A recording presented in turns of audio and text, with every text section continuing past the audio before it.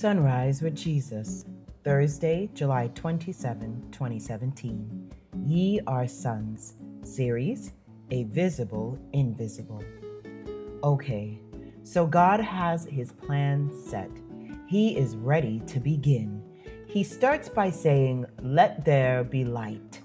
The light flooded the darkness, and the first day was created. He followed this by creating various animals and life forms, creatures to inhabit the earth.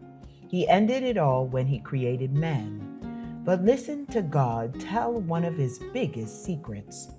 Genesis chapter 1 verse 26 states, "And God said, let us make man in our image, after our likeness, and let them have dominion over the fish of the sea, and over the fowl of the air, and over the cattle, and over all the earth, and over every creeping thing that creepeth upon the earth. Man was made in the image and likeness of God. What is this image, however? Genesis chapter 2, verse 7 states, And the Lord God formed man from the dust of the ground and breathed into his nostrils the breath of life, and man became a living soul. God made man in the image that belonged to him.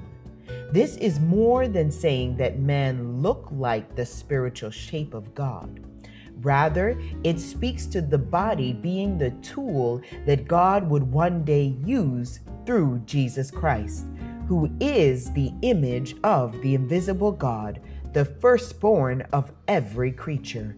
Colossians chapter 1, verse 15. Written by Kareem Flowers, Sunrise with Jesus.